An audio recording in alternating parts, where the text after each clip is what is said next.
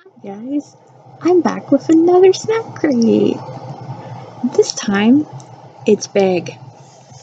So, I got the Finland snack crate this time. So, let's see what's inside now, shall we?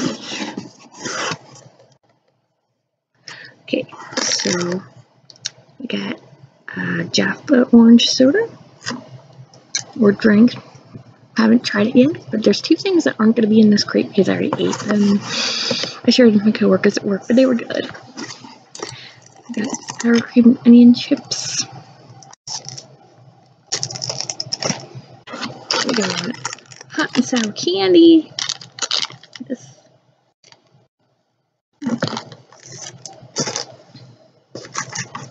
souffle chocolate. Yes, I assume it's chocolate. Feels like chocolate. Got a Karl Fazer chocolate bar. Looks like it's like Lindt chocolate. It's called Jim. Oh, there's two Jims.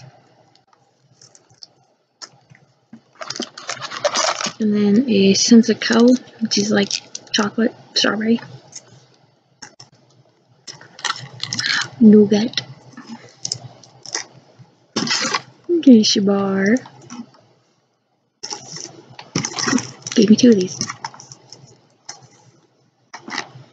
What this is, I'm assuming it might be like some type of chocolate covered stuff or pastel candy or something. And then susu.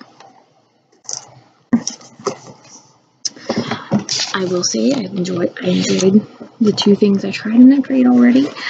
Um, I tried it was these fruit can- Moomin fruit candies. They were really really good.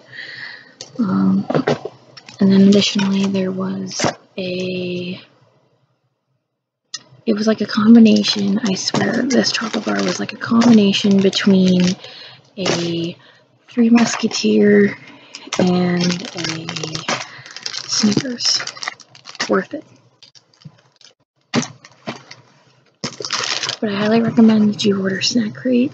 So far, it's been absolutely amazing. It's been really interesting, and it's good to try all this new stuff. But anyways, I figured I'd do a quick unboxing of that. I'm not getting one next month because I'm headed back to school, but I might get one around October, maybe. I've been thinking about maybe getting the Cadbury box, but we'll wait and see. Anyways, thanks for watching this quick unboxing video. Feel free to like, comment, subscribe, whatever. And see you next one.